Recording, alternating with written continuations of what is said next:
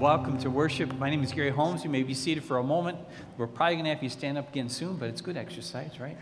And it's such a blessing to welcome you to worship as uh, we enter a series of um, what it means to be grateful and gratitude and that influence upon our lives. It's also time to celebrate uh, how we uh, are grateful for God for all the things happening in the life of our church and, and how we can prepare ourselves for the coming year. Um, with uh, we coming up, of course, our pledge drive for uh, the needs of the church, but may it all come out of a sense of connection with God and what God is doing in our midst. And may God be honored in that. So we're grateful. We celebrate today the opportunity to worship together, especially if. Um, for those of you here today, we're grateful. The ushers are going to hand out a connection card, and if you'll take a moment to fill that out, your presence is important to us. We celebrate that. For those of you who might be online, we're grateful you're here as well and pray that you'll take a moment, maybe just to let us know your presence there uh, as well.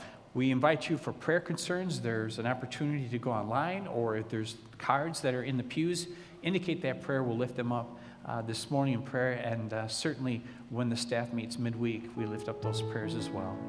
So may we continue in the grace of God as we worship together.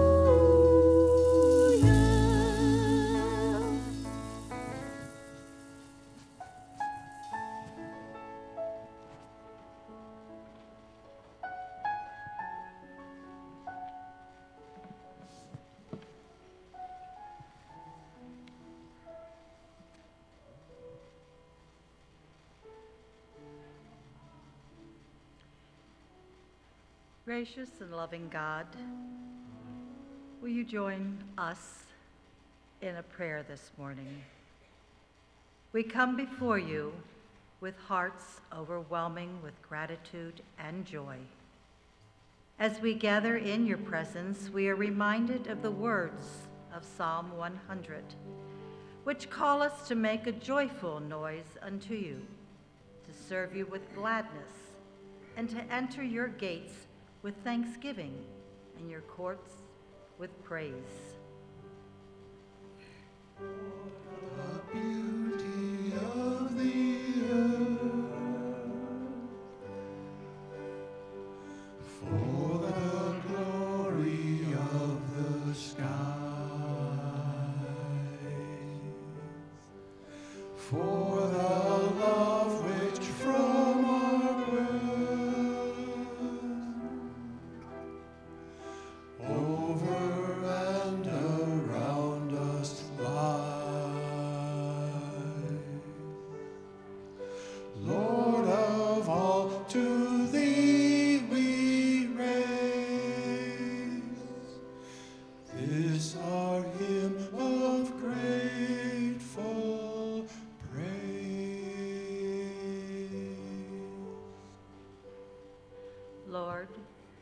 Thank you for the countless blessings you have bestowed upon us, for the gift of life itself, for the love of family and friends, for the beauty of creation that surrounds us each day. We give you thanks. We are the shepherd of our souls, guiding us with your gentle hand and leading us into paths of righteousness.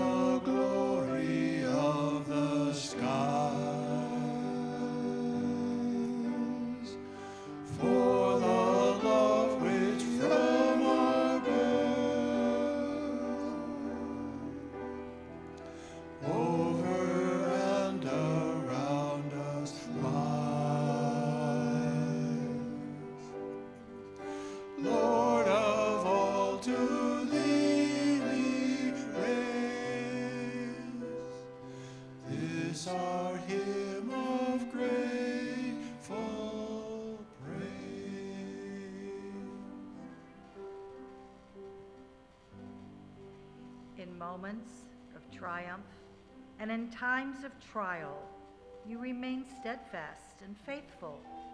Your love endures forever, and your mercies are new every morning. For this we praise you with all our hearts. We pray now the prayer requests that are in our hearts. For Josh and his family as they grieve the death of his mother. Prayers for a brother and sister in health crisis. Prayers for a cousin whose family is in turmoil due to divorce. Prayers for our daughter Anne as her mental illness has taken over her life.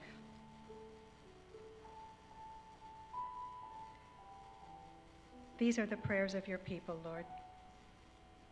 May our lives be a testament to your goodness and grace. Help us to serve you with joy and gladness, sharing your love with all whom we encounter. May we be instruments of peace and vessels of your grace in a world that so desperately needs it. As we lift our voices in praise and thanksgiving, may our lives be a living sacrifice, holy and acceptable unto you. For you alone are worthy of all honor and glory, now and forevermore. In Jesus' name we pray. And now we offer this prayer that Jesus taught his disciples. Our Father, who art in heaven, hallowed be thy name. Thy kingdom come, thy will be done on earth as it is in heaven. Give us this day our daily bread, and forgive us our trespasses, as we forgive those who trespass against us. And lead us not into temptation, but deliver us from evil. For thine is the kingdom, and the power, and the glory forever. Amen.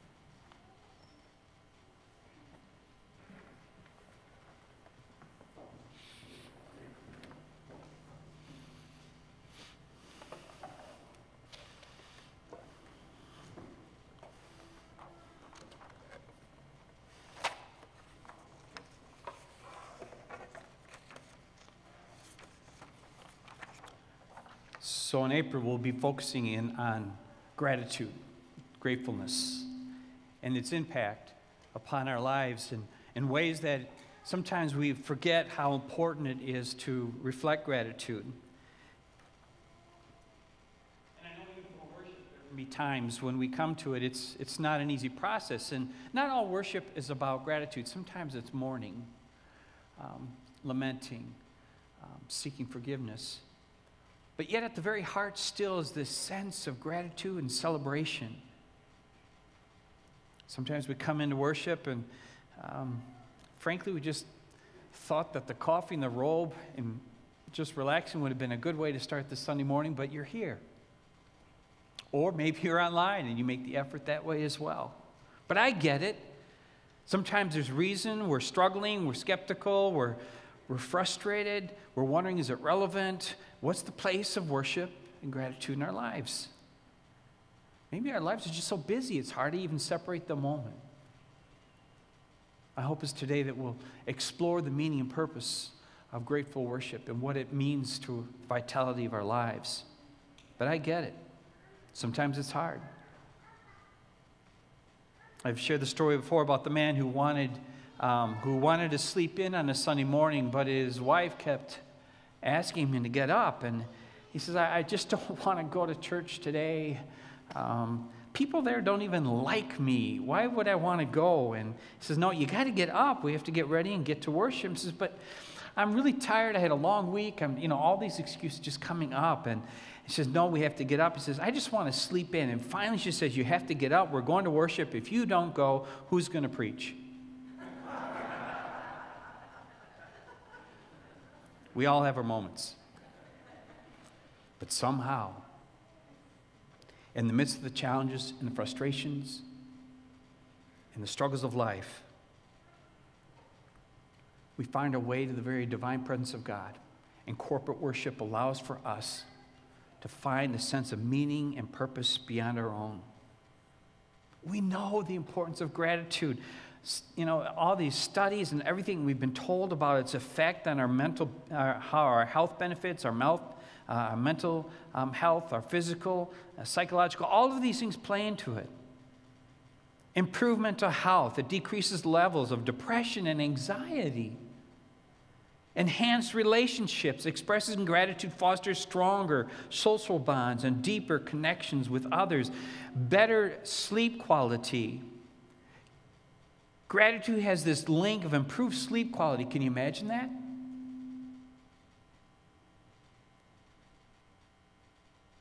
We also find that it reduces stress levels by shifting focus of, of worry and concern, and there's plenty of those. It shifts it for the moment in which we can just appreciate that there is more right with the world than wrong.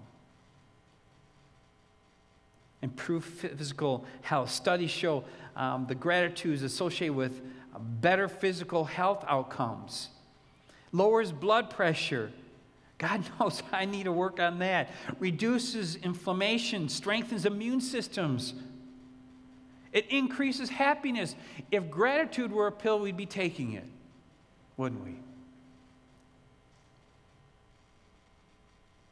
So this morning we enter into this series of what gratitude and, and how it plays into our lives. The overall importance of it finds itself also focusing in on how we experience worship itself. There's reasons to be grateful. And a lot of times the gratefulness starts with us and how we experience the benefits of it. But we know as we grow in our faith, as we mature, we start to see other people more and what impact it has to be with them and to worship with them. Today, our first lesson comes from Psalm 100, and for a lot of people, this is one of their favorites. And uh, this psalm just calls us into that very presence. Five verses that the psalmist wrote to make sure we're engaging. Shout triumphantly to the Lord, all the earth. Serve the Lord with celebration. Come before him with shouts of joy. Know that the Lord is God. He made us. We belong to him. We are his people, the sheep of his own pasture. Enter his gates with thanks. Enter his courtyards with praise. Thank him, bless his name, because the Lord is good. His loyal love lasts forever. His faithfulness lasts generation after generation. And then from James, from the letter, we are reminded of the benefits of life and where they come from. Every good gift, every perfect gift comes from above. These gifts come down from the Father, the creator of the heavenly lights, in whose character there is no change at all. May God bless the reading, the hearing, and the understanding of His Scripture. So we have this incredible opportunity to step into what benefits not only us, but enters us into the very presence of God, which has itself such a critical part of finding the rest and fullness and the character and the purpose of our souls. I love make a joyful noise. For some of us, we're going, that's all I got. I got noise. But that's, that's the best I can do, God. But God accepts that. Andrew's going to encourage us to consider the opportunities we have to worship. Hey, friends, in Psalm 100, the Bible tells us that we are to make a joyful noise, that we are supposed to use this to praise God, and in fact, that we are to enter God's courts with thanksgiving. We get excited we praise God because we are thankful for the things that God's done. Now, speaking of a joyful noise, have you ever heard this before? That is the sound of a hyena. Maybe you've heard that hyenas laugh. Well, what's not a laughing matter is sometimes they use that when hunting and it can intimidate their prey. So maybe the hyena's laughing, making a joyful noise because he's about to eat. What about this noise? That is the noise of a dolphin. Dolphins make that chattering, laughing noise when they are play fighting with their friends. You know, when they're play fighting with their friends, that helps them uh, to understand that there's no real danger and no real threat. So they're just having fun. Sometimes we need to uh, determine when we're having fun and when we're not having fun, right? But these joyful noises are ways that the animals communicate. We communicate too. Sometimes it's through music, but sometimes it's through uh, basically just telling people thank you, telling people we love them. There's lots of ways that we can give thanks and we can be happy for all the things that God has given us, all the opportunities that we have. Well, I hope that you will take some time to make some joyful noises to God and be thankful for all that God has done for you. Take care. Trying to figure out what the cricket sound was at the end there, but that's all right. Pastor Andrew has a good word for us. And what is it we encounter God and live into with a life of gratitude and celebration, and certainly how it affects our way to worship? Overall, gratitude and worship serves as a powerful reminder of the importance of acknowledging blessings, cultivating resilience, fostering compassion, working towards a more just and equitable world, even in the face of injustice. It is a testament to the transformative power that we can encounter that gratitude inspires us to positive action, promoting healing and reconciliation in the midst of adversity. That whole sense of worship centered in gratitude and celebration has incredible impact upon our lives. When we look at the psalm, it, those five verses, I encourage you to read through that even this afternoon as you get home or in places you get an opportunity to read them. The first two verses, we're just called to shout triumphantly. We're called to adapt an attitude of joy. But notice that it also talks about serve the Lord with celebration. There's this connection of doing and being mindful of the others who are around us, not only in worship, but also in daily life and family and work and opportunities in the community. And certainly we're sensitive to those who are suffering from being oppressed or marginalized. So that is a part of worship is the sense of service, gratitude that lifts up those around us. Verse 3 reminds us why we do it because God has made us. We belong to God. We are God's people. We are God's children. We're the sheep of God's pasture. And it's not just you and I, but it's all of humanity that God calls and loves and cares for. There is something to celebrate instead of focusing on division or how we're different, but finding in the difference opportunity to celebrate. Talks in verse 4 enters gates with thanksgiving, um, his courts with yards with praise, his sense of location. And I do think there's a blessing around gathering in sacred spaces to celebrate God's presence and to do it with a community of faith. There's meaning and purpose in it. And I know that uh, when we've gone through the, the pandemic, it was times of isolation, separation, and it was tough on us. And some people are still having to be careful about it. So I get that. And my prayer is that we'll find opportunities to enter into community with each other when opportunities arise. And why is that? Verse 5 because God is good. The why centers on and God's loyal and steadfastness, God's faithfulness to all generations. There's reason to rejoice. Sometimes we just get caught up in that and we forget the importance of rejoicing and celebrating. It engages to celebrate God's very presence and, and inspires us and comforts and heals and nurtures us. Praise is thanksgiving. Worship is being truly present when we enter into worship. And maybe that's something we could work on too when we come for worship. I get it. Sometimes we're either struggling with children or we got a call from our parents or we're dealing with whatever. And it's tough. You get into the sanctuary and a lot of stuff is just buzzing in our hearts and our spirits. It's hard to settle in. And that's why preparation for worship is important for you. And releasing the stuff that gets in the way of our being present here or present online. Opportunities for us to release to breathe, to exhale the stuff, the anxiety, the hurt, and inhale the grace, forgiveness, and hope. And maybe just that soft prayer God, help me be fully present for you today. What might you teach me? What might you heal in me? What might you forgive me for? What might you do to encourage me? What might you do to hear the joy that's in my life that I want to share today? I couldn't wait to get to worship, to thank you for the blessings in my life entering into worship is an opportunity to settle into a sense of God's presence. But it's hard, right? When there's so much misery and hurt in the world. Some of us probably feel guilty. I can't be celebrative. I, I can't go in with an attitude of thankfulness and gratitude because there's so much hurt. And I, I just feel phony when I come in and try to worship in that way. I came across um, a YouTube uh, TED Talk um, by Dewitt Jones, who's a National Geographic photographer. If you ever get a chance to see it, he talks about celebrate what's right in the world.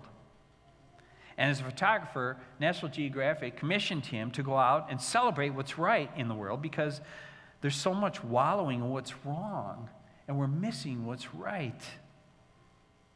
And so he says this our vision controls our perspective, and our perspective becomes our reality.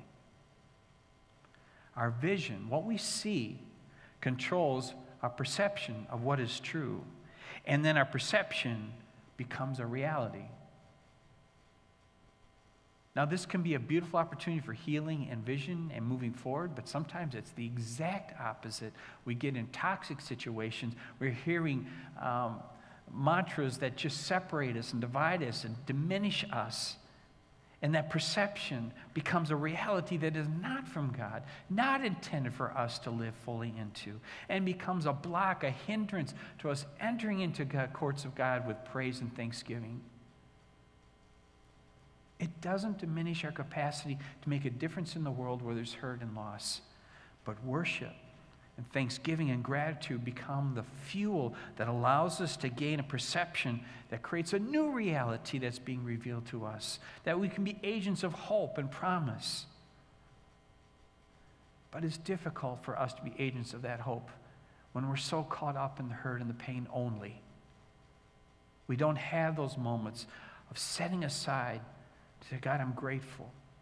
And I'm grateful for all, not only what you are doing, but what can happen.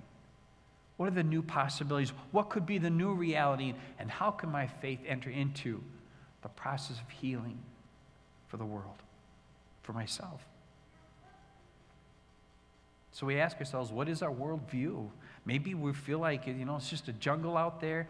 Um, Jones talks about uh, the, the quote from second place is the first loser concept of life and we've got this all, nobody quite matches up. We all fall short, and there's hurt and division. But somehow I pray that we can get a vision from God that starts giving us a new perception, and that perception of grace and mercy and healing and hope can head us to a new reality, the kingdom of God.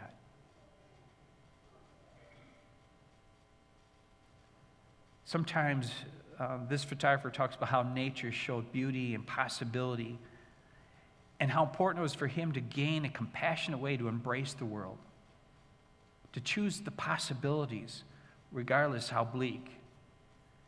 He talked about taking photographs when it was raining or muggy and the challenges, and, and then he would show his amazing photography of creating this beauty in the midst of the challenge because he had a lens of celebration to guide him. I asked Craig Walker to throw some slides together. A great photographer. And just allow us, let your mind eye just envision these pictures, both of the, uh, the gift of this earth we've been given and the people that surround us. Maybe a moment we can celebrate all that's good with the lens of celebration, with the lens of the love of Christ.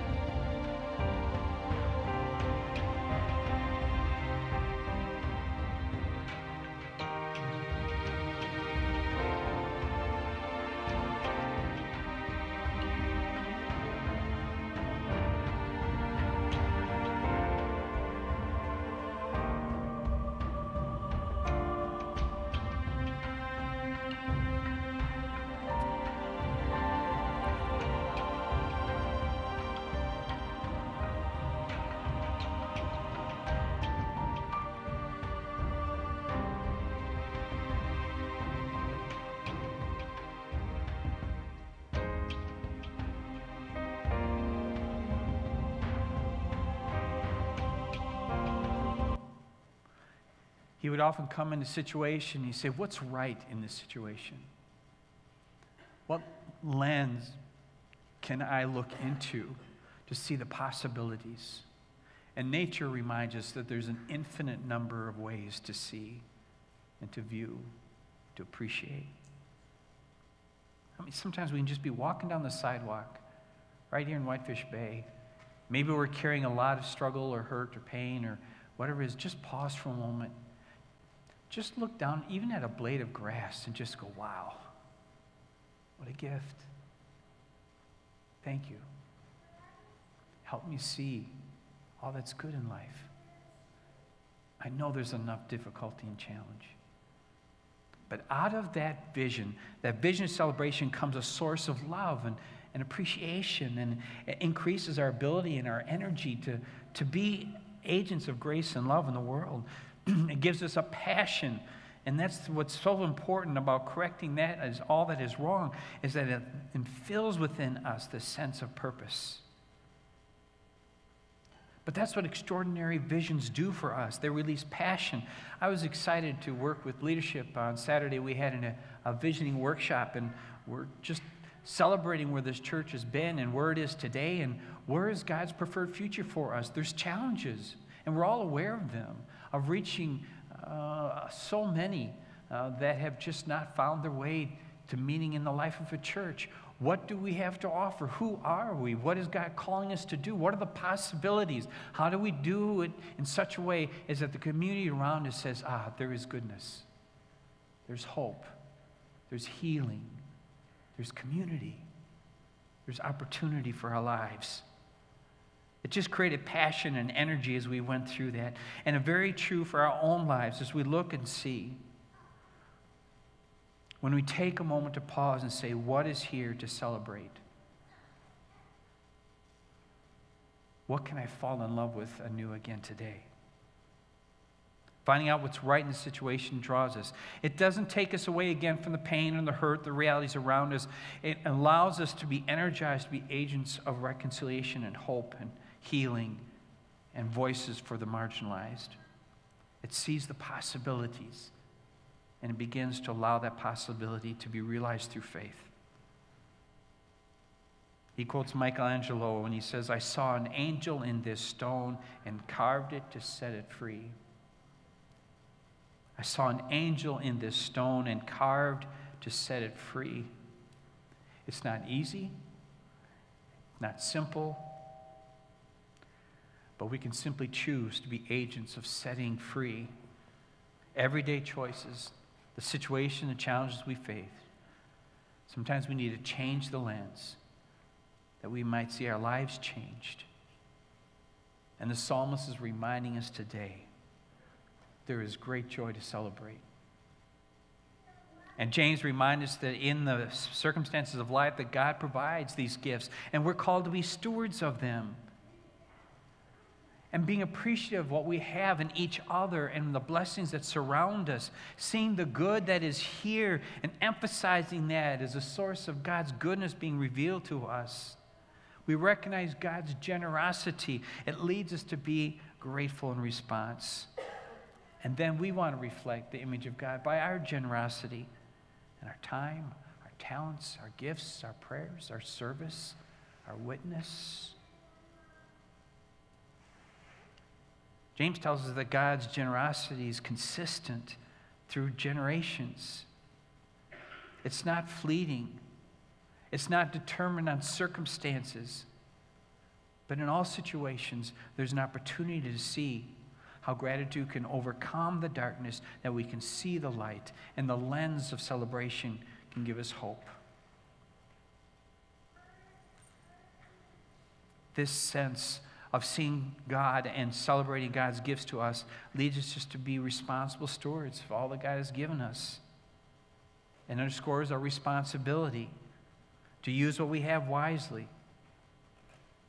It prompts us to be blessings to others, to use our gifts and resources in ways that honor God and benefits others, demonstrating gratitude through our actions and our service. Every good and perfect gift that God has given, may God be honored through it. So the invitation is for us and how we as a church continue to see opportunity. We know there's darkness and we aren't going to ignore it. But our energy and our passion comes from the goodness of God. And the opportunity to be grateful for what we can see that's good, so that light and that love can diminish the darkness. I want to read Psalm 100 again, this time from the message, and just invite you to receive uh, the call and the opportunity we have. On your feet now, applaud God. Bring a gift of laughter. Sing yourself into God's presence. Know this God is God, and God, He made us. We didn't make Him. We're God's people, God's well tended sheep. Enter with the password. Thank you. Make yourself at home, talking praise. Thank God, worship God, for God is sheer beauty all generous in love, loyal always and forever. As we prepare for the celebration of communion, I'd remind us of the gift of love and the passion that is given through this meal.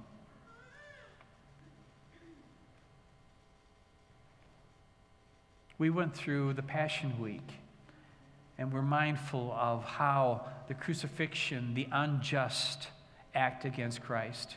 Humanity's response to God divided both body and blood. And yet, this table that Jesus calls us to, not only do we remember what Christ has done, that death and hatred and rejection is not the last word, but resurrection and hope and promise is. We remember, but we also, in a way, through body and blood, we remember the body of Christ in us in you and me. We remember the presence of God in the needs of the world and in celebration and blessing. We become the activity of redemption and healing and hope. The world is hungry and crying. And what should we be in response? But a community of faith, grateful for the blessings and agents of service into a world in need. May God be honored in how we respond to God's grace. Let us pray. Holy God, as we remember and remember your presence through this sacred act of Holy Communion, be present in us. Guide us wherever we're at. Maybe we're in doubt. Maybe we're struggling. Maybe we're wondering how do we become agents of grace in a world so filled with division and hatred and personal preference that diminishes people around us. Help us be, help us see, help us put on the lens of celebration of who you are and your commitment to us, even to the point of the cross, but certainly the point of resurrected hope. Guide us through the celebration of all that you are, Holy God, in this moment of Holy Communion. In Jesus the Christ, we pray and we seek to live. Amen.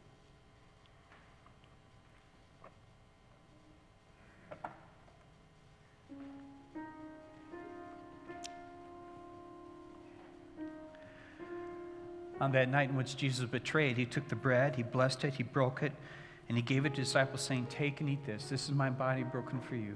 Do this in remembrance of me. Likewise, after the supper, Jesus took the cup. He said, This is the cup of a new covenant, my blood poured out for the forgiveness of your sins, the sins of many. As often as you drink of this, do it in remembrance of me. The invitation is to all today. All are welcome to come to receive both the bread and drink of the cup. You can deposit the cups on the side in the basket. May it be an opportunity for you to say, God and me, I pray that you are remembered that I be your continued presence in a world so desperate in need. Help me be an agent of your love. I invite those who are going to help serve to come forward this time.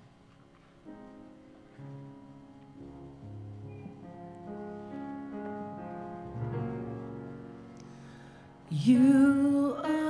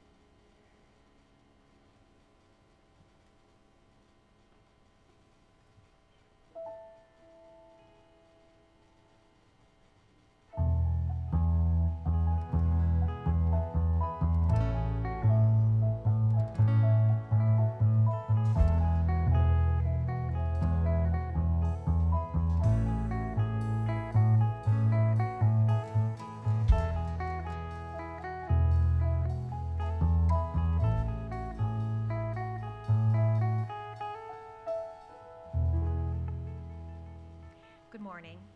I'm Peggy Mulligan, for those of you who I do not know. Bill and I have been members of this church for almost 40 years now. I grew up in the Catholic Church, and Bill grew up in the Presbyterian Church. And when we first got married and wanted to start a family, it, we put a real priority on wanting to find a church that we both felt very comfortable worshiping in. So we you know, tried out a lot of different churches, but we truly found our home here. We raised our three children in this church. Um, they were in the inaugural class of the Tree of Life preschool. They went to Vacation Bible School, to church camp. They're, um, they were um, confirmed in the church, and they went on many of the ASP trips, which were really wonderful. And it was really a joy watching them and so many other youth in this church grow up with such wonderful examples of faith and mentors for themselves.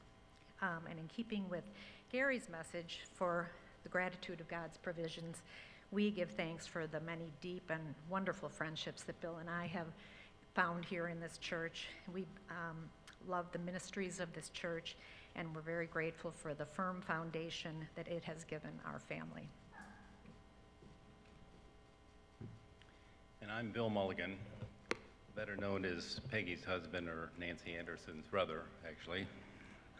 Um, when Nancy asked me to speak, um, I struggled a bit to know what to, what to say. Her advice was to make it personal. Um, Nancy and I were blessed to grow up in a, a Christian church family that embraced an active church life. Um, we're all a function of our example set by our parents, right? Um, I recall a memory when I was 10 to 11 years old, um, family vacation out to Lake Powell, Arizona. And I had had a bike crash about a week before. I wasn't a careful child. Um, and so I had five or six stitches in my knee. And my dad needed to find a clinic um, to take out the stitches. Happened to be right in the middle of the vacation. So we go into Page, Arizona, which at that time is like a one horse town. Find a doctor, walk into the waiting room, and there's a Native American sitting in the waiting room. And so we get right in, go to the treatment room, takes out my stitches, no problem. Come back out, Native American is still sitting there. So I headed out to the car. My dad goes back in, and I said, "What'd you go back in there for, Dad?" He said, "Well, I I paid. The guy wouldn't be treated because the doctor wanted to be paid in advance. So my dad paid the bill." Um, and that memory reinforced to me the importance of being charitable and helping others uh, that are less fortunate. As Peggy said, in our, um, our family's been benefited from the church for many years, and our return on investment in the church has been immeasurable. We realize that there are many demands for your charitable dollar, uh, but for Peggy and I, um, our church is at the top of the list. Um, we have confidence in our leadership and look forward to growing our membership program and mission giving. Thank you for the opportunity to speak here today.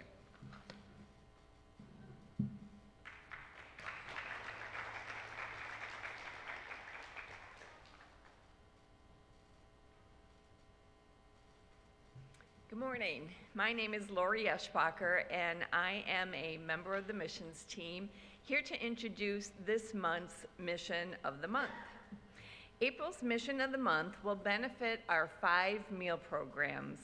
Each month, we purchase food, cook, and serve at Guest House, St. Vincent de Paul, St. Ben's Community Meal, Milwaukee Rescue Mission, and MacCanon Brown's Homeless Sanctuary.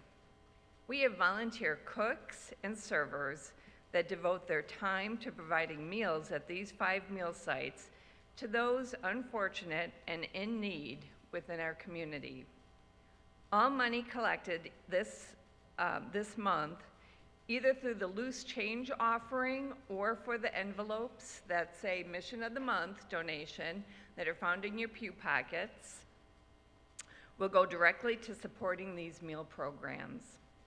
In addition, if you have interest in participating at any of these meal programs, check out our church calendar. Each of the meal programs are listed there with a contact person. Thank you.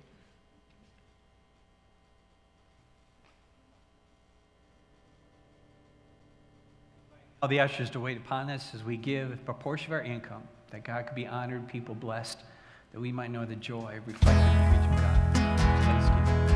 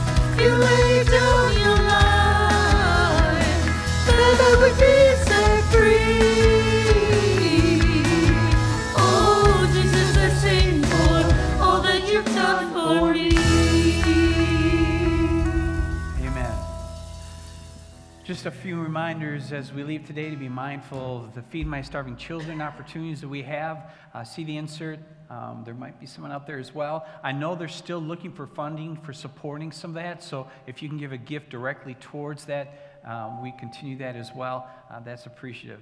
Uh, there are plenty of things to support, I understand. Um, also, be mindful that the, the Star Factor, our kids program, is coming up on April 27th and 28th. Uh, don't want to miss that. We know what a blessing the kids and the performance and the blessings that surrounds that, creating community and joy. Um, it's a great opportunity to maybe invite that neighbor or two and see if we can invite them to hear the joy and celebration of our community. At this time, I'd like to invite you to stand as you're able for the sending forth. I pray the Holy Spirit be upon you, remind you of your sacred worth, that you might find joy to energize and develop your passion and vision for what life is and can be as agents of the body of Christ. Go in the peace of that love this day. Amen.